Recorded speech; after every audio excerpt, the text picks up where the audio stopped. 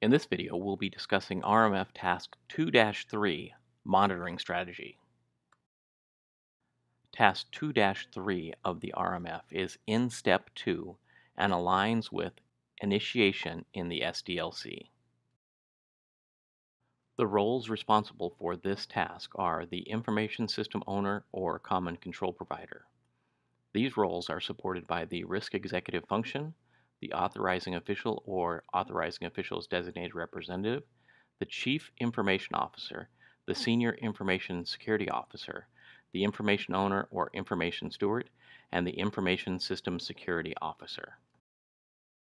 Development of the Information Security Continuous Monitoring Strategy, or the ISCM strategy, is a critical part of the ongoing security control monitoring process.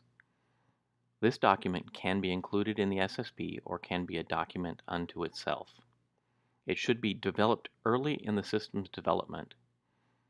It allows the organization to understand the state of security of the information system over time.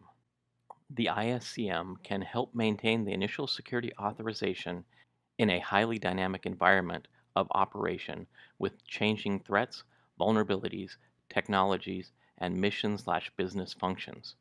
The monitoring of security controls using automated tools and supporting databases facilitates near real-time risk management for the information system and should be used whenever possible. An effective ISCM really keeps track of what's going on in your enterprise or organization, as well as with the security controls of your specific system. This program should include a configuration management and change control process that keeps track of changes occurring in the environment and the information system. These changes should be reviewed through a security impact analysis process this impact analysis should ensure that proposed or actual changes to the information system or its operational environment do not have a negative impact on the implementation of the security control or the security status of the system itself.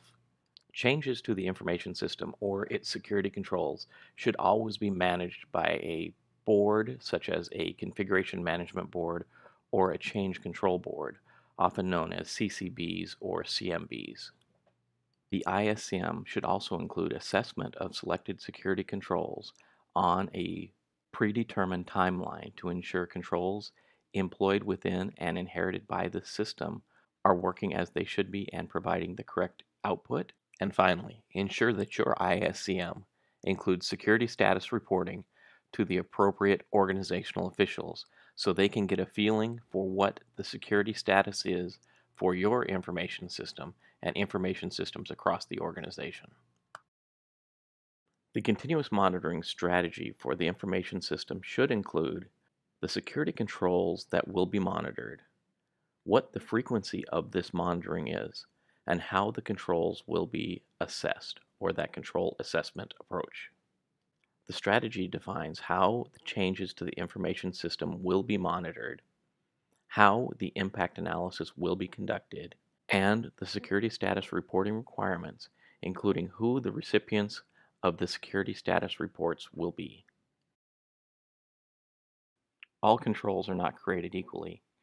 For this reason, you must set control selection criteria for the security controls you're monitoring. This control selection includes determining the priority of importance of the information system in relation to the organization or the enterprise as a whole.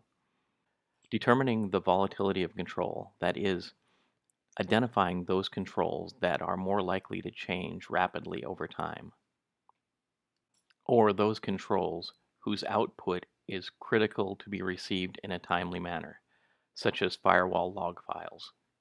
You should also identify the controls that are critical to certain aspects of the organization's protection strategy. Those controls that are identified on plans of action and milestone should receive increased frequency of monitoring as well. The use of automation will facilitate a greater frequency and volume of security control assessments. You should also determine the frequency of assessing common controls that are inherited by the information system. At times, this frequency is set by the common control provider, but it should be validated to be sufficient for your system as well. Part of this process includes determining the trustworthiness of the common control provider. Organizational assessment of risk can also be used to guide the selection of specific security controls to be monitored and their frequency. The approach to security control assessments during continuous monitoring may include detection of the status of information system components and analysis of historical and operational data. And finally, don't forget to reuse the assessment procedures and results that supported in the initial authorization decision if these results are still valid and within organizational time frame requirements. Once your monitoring strategy is completed, it must be approved by the authorizing official or the authorizing official's designated representative. This includes the set of security controls that are to be monitored on an ongoing basis, as well as the frequency of this monitoring activity. Ensure that the security controls that are included in dynamic systems are included in your monitoring strategy.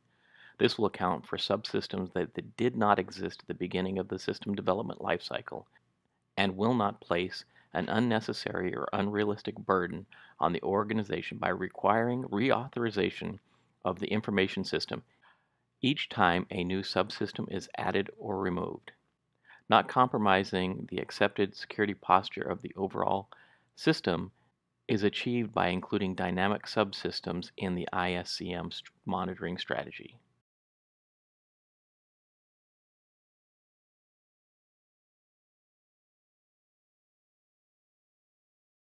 In summary, in this video we have discussed the SDLC alignment with this task, discussed responsibility for completing this task, covered monitoring of security controls, selection criteria, the process for determining the frequency of control monitoring, and approval of the ISCM strategy.